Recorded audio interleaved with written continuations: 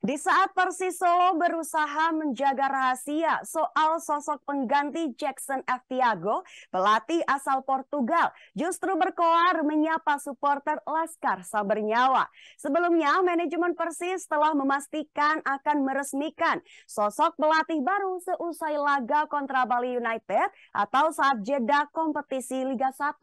Kursi kepelatihan tim kebanggaan warga kota Solo ini telah kosong sejak lama, tepatnya setelah laga pekan kelima. Dan pihak Persis telah melakukan interview kepada sejumlah calon pelatih baru, tetapi belum bisa diumumkan sekarang. Terdapat sejumlah pelatih berlabel pengalaman mentereng yang dikaitkan dengan Persis. Di antaranya Robert Rene Alberts, Eduardo Almeida, hingga Alexander Gama. Ketika pengumuman pelatih baru masih menjadi teka-teki, ada pelatih di luar kandidat di atas yang memecah keheningan. Dia adalah nahkoda berkebangsaan Portugal, Paulo Gomez. Maaf, dia adalah nahkoda berkebangsaan Portugal, yaitu Paulo Gomez. Hari ini berawal dari cuitan di akun Twitternya yang membuat geger publik sepak bola tanah air, terkhusus supporter Persis Solo. Paulo Gomez tiba-tiba mengucapkan terima kasih sembari menandai akun kelompok supporter Persis. Di dalam cuitannya, ia juga berjanji akan mengerahkan kemampuan terbaiknya demi sepak bola Indonesia. Namun Paulo Gomez sendiri sejatinya belum lama dikaitkan menjadi pelatih Persis. Meski begitu, pelatih berusia 47 tahun tersebut kini menjadi yang terdepan memimpin Fabiano Beltram dan kawan-kawan.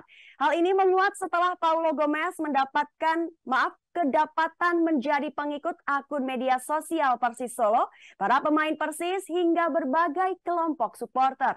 Hingga Minggu 25 September 2022 sore waktu Indonesia Barat, belum ada keterangan resmi dari Persis Solo. Sebagai informasi, Paulo Gomez adalah pelatih kelahiran Villanova, Portugal 31 Maret 1975. Dia mengawali karir kepelatihan pada tahun 2009 bersama klub Luxembourg SC Movenblech. Setelah itu, ia pindah ke klub-klub lainnya sebelum memutuskan berkelana ke Arab Saudi. Al Khalij merupakan klub terakhir yang ditukangi Paulo Gomez pada musim 2021 lalu. Saat ini, pria bernama lengkap Carlos Paulo Cardoso Gomez Cacote berstatus tanpa klub. Sehingga sangat menarik dinantikan apakah Paulo Gomez benar-benar menjadi nahkoda anyar bagi Persis Solo nantinya.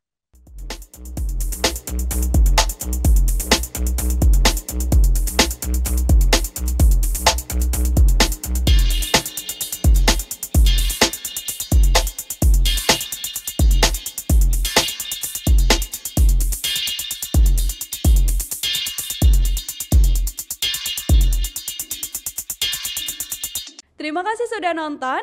Jangan lupa like, subscribe, dan share ya.